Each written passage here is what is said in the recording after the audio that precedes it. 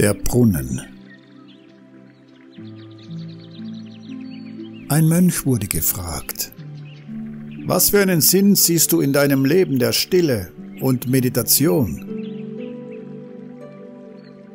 Der Mönch, der mit dem Schöpfen von Wasser aus einem Brunnen beschäftigt war, sprach, Schaut in den Brunnen. Was seht ihr? Die Leute blickten in den tiefen Brunnen. Wir sehen nichts.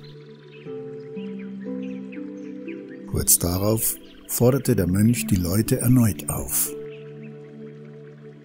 Schaut in den Brunnen. Was seht ihr jetzt? Die Leute blickten wieder hinunter. Ja, jetzt sehen wir uns selber. Der Mönch sprach. Nun, als ich vorhin Wasser schöpfte, war das Wasser unruhig. Jetzt ist das Wasser ruhig.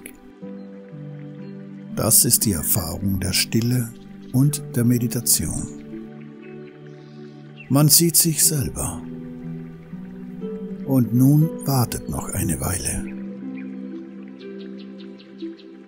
Der Mönch sagte erneut, Schaut jetzt in den Brunnen. Was seht ihr?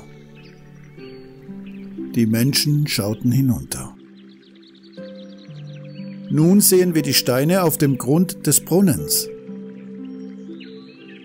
Da erklärte der Mönch, das ist die Erfahrung der Stille und der Meditation.